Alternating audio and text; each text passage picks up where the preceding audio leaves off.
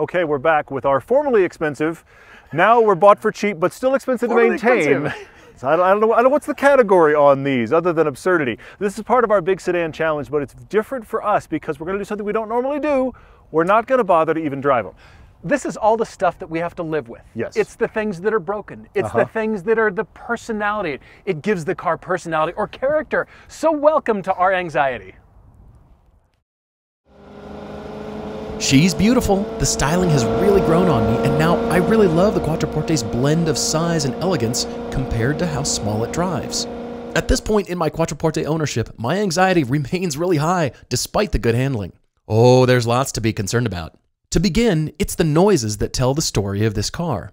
The first thing you want to hear upon opening the driver's door is the comforting sound of the F1 transmission pump.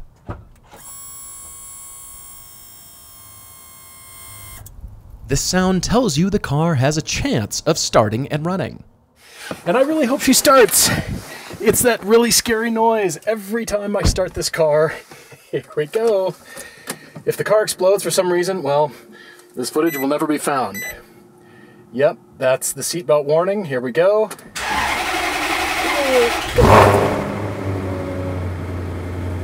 Listen to that. Cam variator. Okay, so you see the check engine light? It stays on for 18 seconds while the car goes through all of its startup procedures, make sure nothing's wrong. I always hope the check engine light goes out. Once she starts, it idles out into really smooth, nice music.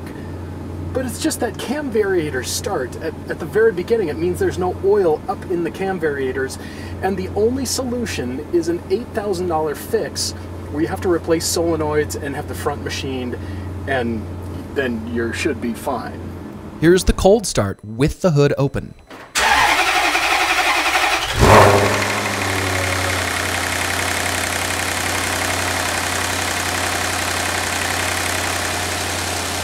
See that cam variator ticking sound goes away once the dry sump begins throwing oil everywhere. All you hear now is the valves. I was kind of hoping the engine would rock on its mounts a little bit on startup, but they appear to be collapsed. Awesome. All of the outside door handles have redundant switches. The first is a black mechanical lever hidden near the back. The second is the electric button that most easily falls to your fingers. That's the one that gets used the most. When you touch it, the solenoids kick the door open. But it's that expensive slam that is still better than most luxury cars today. Yes, I judge a car by its door slam. You know I had to go there. Ah, solid engineering. The rear door slam is even tighter. So solid and chunky. Here it is from the inside. Makes y'all warm and fuzzy, doesn't it? Of course, I now have to compare the QP5 to the Cayman GTS door slam. You know, the gold standard. And again from the inside. Even when you're in sport mode, there's lots of delay while the robot declutches and then engages each next gear. Lots of owners have recommended that you shift the car yourself because the car's transmission electronics were never good enough to figure out what you wanted. Column mounted clickety click shifts. Very satisfying.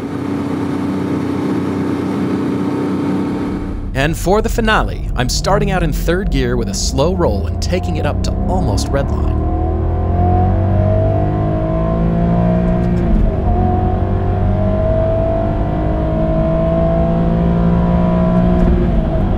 I say almost because the car started to slow down and hesitate just before the actual red line of 7500, and it wouldn't let me go further even in sport mode.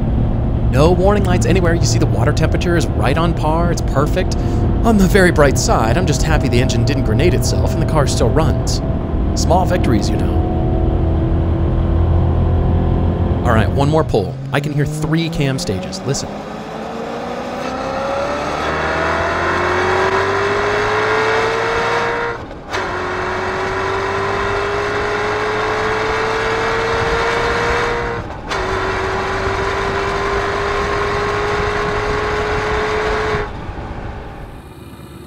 Time to format. Oh, yes, I forgot to mention the clock thinks it knows better than you do, and it won't let you set the minutes accurately. It's a little fast. See, I can only have 29 or 59. If you can stomach all of this, Maserati QP5 ownership is for you. Otherwise, run far away. But then, of course, you park and you look back at her again. Bellissima Maserati. The Phaeton is an all wheel drive, 5,200 pound, do anything all weather monster. And when I had a blizzard that completely covered my driveway, I had a terrible idea. My driveway is impassable right now. So I'm going to try to break through it with the Phaeton, which is bound to end in disaster. I do have it in the full lift mode though.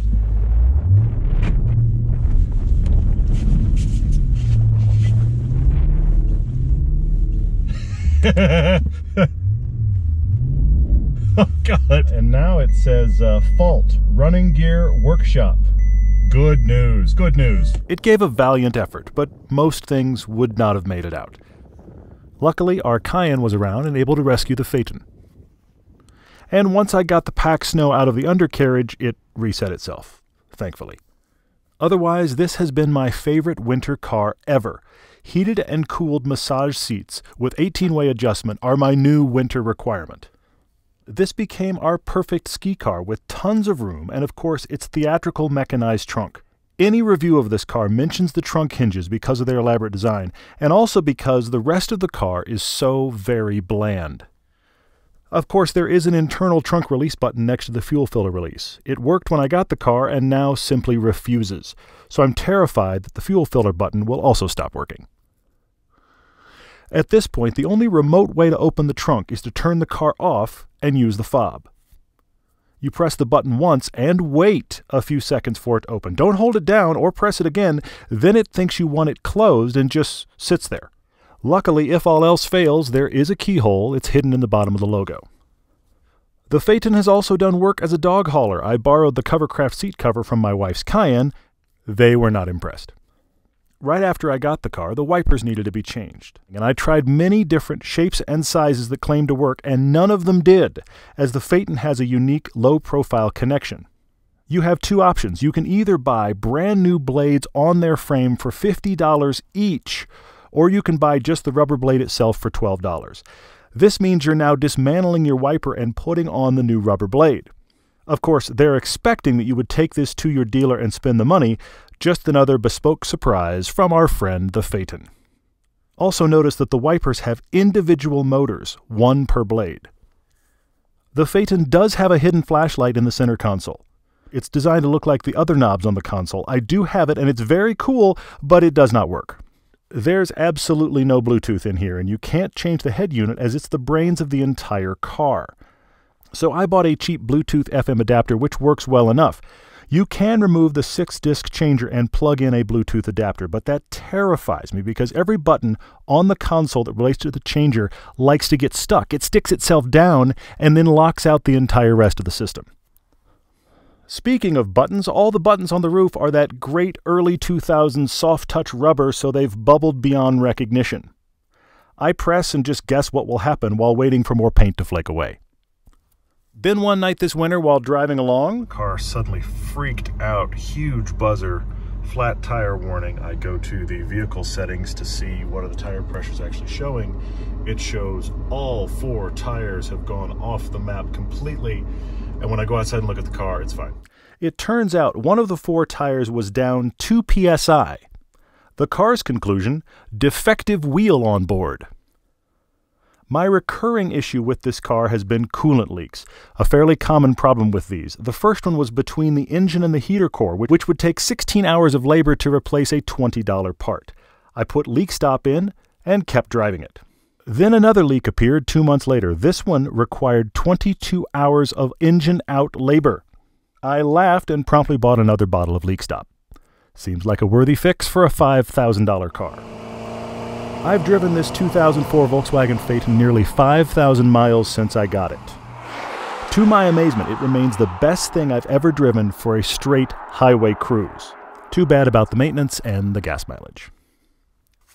That's all for now, but there's still lots of driving adventures to come with these cars, including some autocross and probably even a long road trip. Let us know what you'd like to see.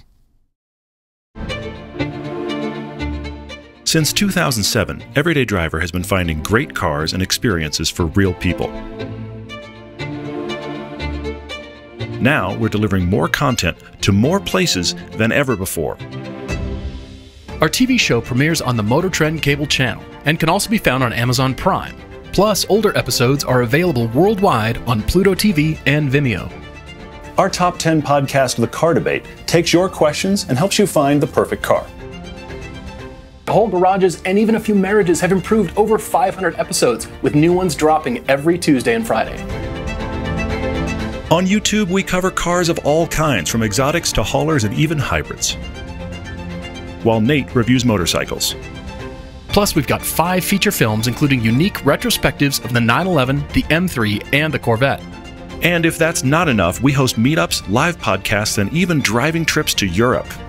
So thanks for watching, listening, and supporting what we do.